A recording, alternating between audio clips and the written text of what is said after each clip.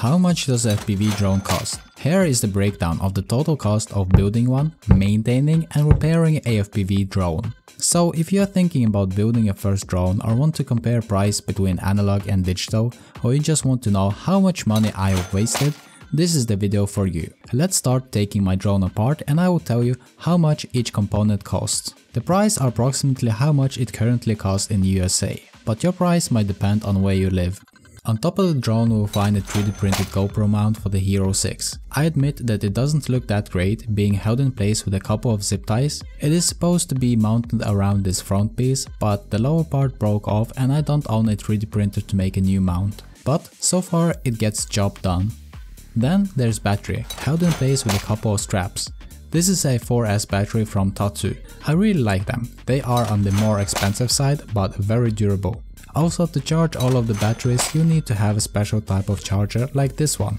Something you need to consider before building a drone is if you will have a 4S or a 6S build. Meaning are you going to use a more expensive, more powerful 6 cell battery or a more widespread 4 cell battery like I have here. That decision affects your choice of the electronic speed controller that we will get to once we start taking the drone apart. The straps are made from leather and are much more stronger and durable than those cheap plastic ones. I've had them before. You can be sure that your battery won't be flying off when you do a hard turn or a flip.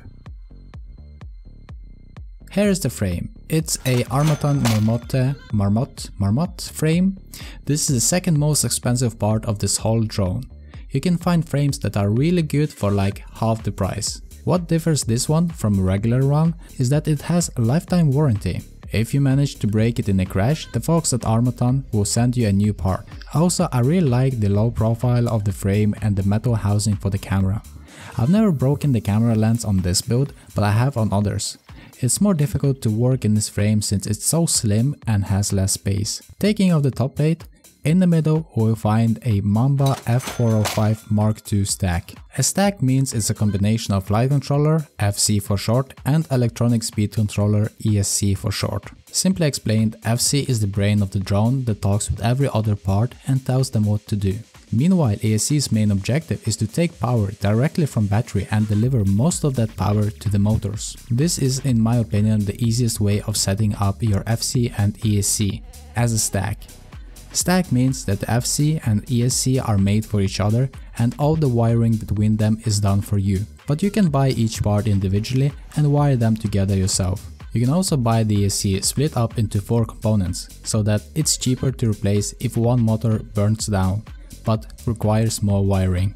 Next to the stack I have a big capacitor held in place by zip ties. It's connected to the ESC where power arrives and in case something goes wrong with power distribution or I am flying full throttle and I get an ampage that is higher than what this board is designed for, the capacitor will absorb the impact. And instead of the ESC, or most likely the whole stack burning down, the capacitor will explode. But replacing the cap is much more cheaper and gives you a layer of protection. So make sure to get a big nice cap. Underneath the stack is a receiver, TBS Crossfire Nano RX. I got it placed in this 3D printed housing with easy access to the connect button from the underneath and it holds it nicely in place. The antenna goes underneath to the rear and is held in place by this housing. The receiver receives the signal from this radio, the TBS Tango 2. I love this radio so much. It has crossfire, it's compact and comfortable to use. Highly recommend it. Next is the most expensive part on this drone and that is the video transmission unit VTX. It's a Caddx Vista Nebula Pro. Another thing you need to consider before starting to build your drone is that you need to decide if you're going to go digital or analog.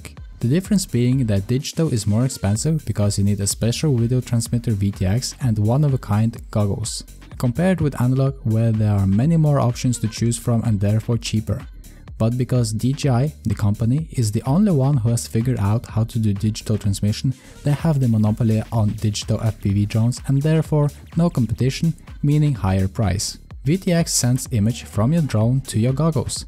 This VTX is a digital one and therefore sends a digital signal. All digital video transmitters have a long transmission range and higher image quality than an analog transmission. People say that digital is more expensive than analog, but that is not true. A high-end analog system with rapid fire as an example will cost the same as a digital one. The only difference is that you have alternatives. You can find cheap, lower quality analog video transmitter, but there is nothing for digital. Digital is all in or nothing type of scenario. The goggles that receive the digital video signal cost almost a whopping $600, but just like the radio, they are on you, not in the air. So you might crash, break or lose your drone, but not your goggles or radio, except if someone steals them. And the resale value is pretty high on those two. Back to the drone. We have 4 motors, but you can find FPV drones with 3, 6, 8 or even more. Remember I said you need to decide if you're doing a 4S or a 6S build. Well, you need to choose your motor's KV based on that. These motors are 2450 kV and are perfect for a 4S build. Then we have a set of props. You'll probably need to buy at least 2 or 3 more sets if you're going to crash or chop them up, but they are really durable. But that depends on the brand. Let's take off these propellers before we continue. I also have a beeper attached to the frame. It has its own little battery and if I lose my drone while flying, this will make a loud noise even if the main battery is disconnected. If you look closely, you can see that all of my electronics are covered in conformal coating. It looks similar to nail polish and it creates a non-conductible layer on top of electronics, so that I don't need to worry about water or snow getting on my drone while flying, and therefore causing a short and burning a component. Ah, and also there's the additional cost of tools, tape, hardware and soldering iron. That bumps the price a little bit more up. Personally I had all the tools necessary from before and you might too. And that's about it. The total cost of the drone with goggles and controller is this much.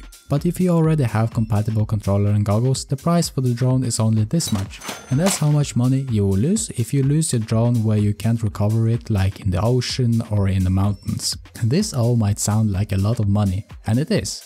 But when I started I had Fat Shark Recon V2 goggles, Sky Taranis radio, drone build with medium quality parts. I also had to buy batteries, charger, tools, etc. and that was the same price, but in total the price was so much more cheaper than this. Let's make a quick comparison for a conclusion between the prices you pay for digital and analog drone. We will use a DJI Air 2S as a baseline, even though it's not a FPV drone. This is the price for one and if you break it and don't have insurance, you'll need to buy the whole package again. Then we have a digital FPV drone. Here's the average price for one drone with 4 batteries.